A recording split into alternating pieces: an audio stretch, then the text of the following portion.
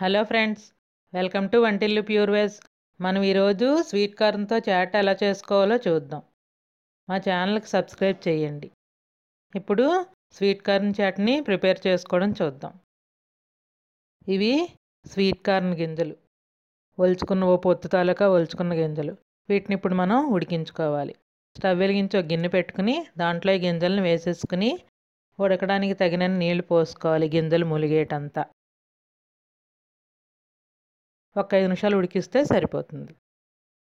మా వంటలు మీకు నచ్చుతున్నట్లయితే మా ఛానల్కి సబ్స్క్రైబ్ చేయండి. బెల్ ఐకాన్ ప్రెస్ చేసినట్లయితే మా నోటిఫికేషన్స్ వెంటనే మీకు వస్తాయి ఇదిగోండి గింజలు ఉడికిపోయాయి స్వీట్ కార్న్ గింజలు. ఇగో ఇవి ఇలాగా ఉబ్బి రంగు మారి మనకి తెలుస్తాయి ఉడికితే.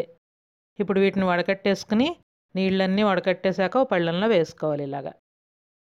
ఇప్పుడు ఒక బాణలి బాగా వేడి చేసుకుని తీసుకుని దానిలో మనకి తగినన్న స్వీట్ కార్న్ గింజల్ని ఉడికించుకున్న వాటిని వేసుకుని దాంట్లో ఒక పెద్ద స్పూన్ బటర్ను వేసుకోవాలి వెన్నని.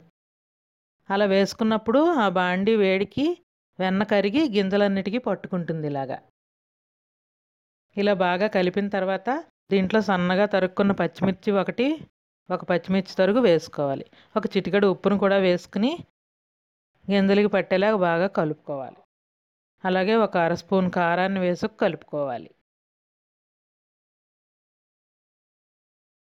ఇప్పుడు సన్నగా తరుక్కున్న ఒక టమాటా వేసుకోవాలి.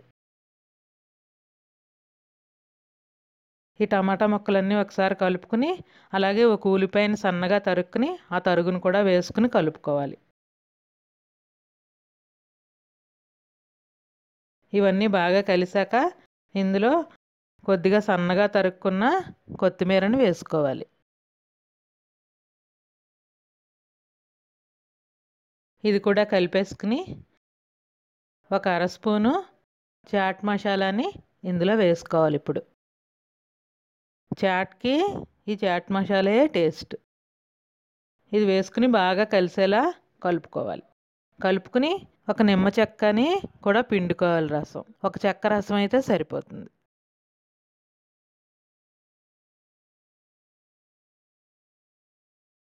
ఇప్పుడు మొత్తం అన్నీ కలిసేలాగా బాగా కలిపేసుకుని మనం సర్వింగ్ బౌల్లోకి తీసేసుకుందాం.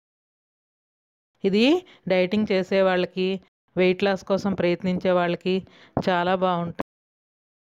ఇది తింటే కడుపు నిండిపోయినట్టుగా ఉంటుంది ఆకలి వేయదు. ఇందులో కొలెస్ట్రాల్ ఉండదు ఫైబర్ ఉంటుంది ఒంటికి మంచిది. ఇదే మన స్వీట్ కార్న్ చాట్. మా ఛానల్కి సబ్స్క్రైబ్ చేయండి.